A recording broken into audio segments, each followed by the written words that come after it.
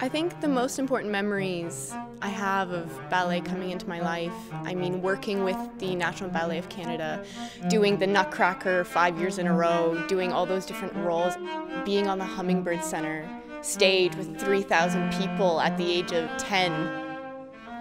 I think I did show promise from a young age, but I didn't know I did. Um, a lot of people around me always told me, you know, I was very talented and I had really good dancer's feet. And from when I was little, I was really flexible. I could, one Christmas morning, I just slid into the splits and I was like, I didn't know I could do that. Or like, I'd accidentally kick myself in the head. And it was just like these weird little quirky things as a kid that you don't realize can shape you to be something. You just, they're just kind of part of your body. So it's always been inside of me. Life as a boarding student at NBS was intense. Um, the first few weeks, you're not allowed to have any communication with your family, and my family, my parents also got divorced in those first few weeks, so there was a lot of like emotional trauma right off the get-go.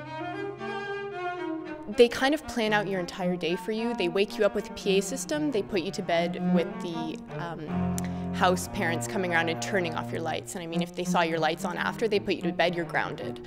So it's like every single day, you know, you have breakfast until 8.30. Then you have two academic courses from 8.30 to 10. Then you have ballet from 10 to 12. Then you have lunch from 12 to 12.45. Then you have other academic courses from 12.45 to 4.30. Then from 4.30 to 6.30, you either had fitness, which you had every day, either body conditioning on land or in the pool, or you have repertoire, or you have partnering, or you have pointe.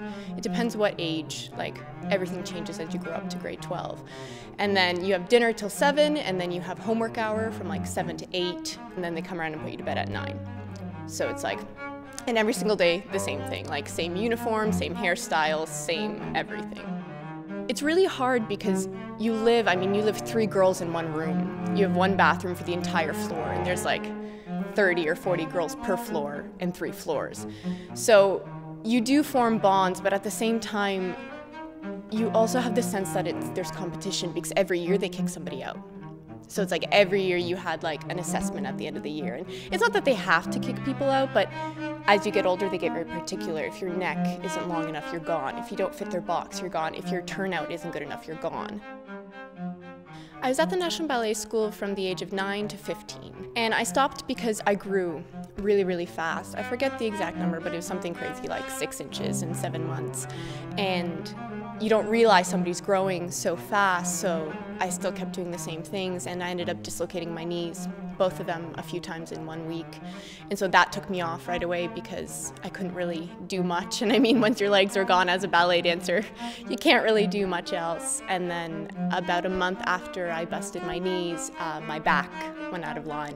And so I decided to leave. It was my decision to take a year off at first and go. So I moved back home to Hamilton I went to a normal public school, and that was probably the biggest transition of my life to date, going from this private school in the middle of the gay area of Toronto, which is safe, you know what I mean? There's only 140 students from grades 5 to 12, to a public school with 2,500 people, and I mean, thankfully my older sister went there, so I knew somebody, but I don't, I didn't know any of these people because I left when I was nine, and it was hard. I mean, after having your whole life scheduled for you, I remember having anxiety attacks because I'd get home at three o'clock and I'd do my homework in 15 minutes, and suddenly I was like, I have nothing to do.